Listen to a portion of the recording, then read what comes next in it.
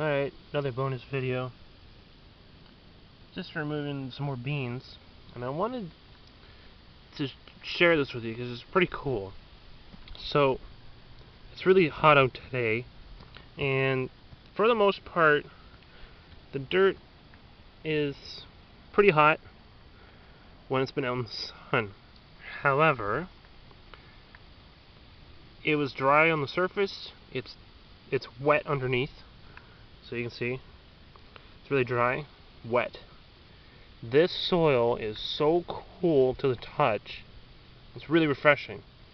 And so I don't know if you guys will ever get to experience this but this is one of the reasons why I like working with my hands so much is that I can literally like my hand is on fire because I've been rifling through the dirt with this spade. I'm almost like and gonna end up with a blister.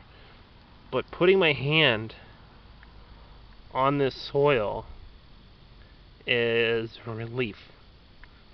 And I hope you guys get to experience something like this in, in, in your gardens, you know, because it's just crazy. Like, it is such a, a unique experience, you know, being able to grow something and run in the house and cook it up, but then also come out here and get, you know, a form of therapy from, you know, the soil.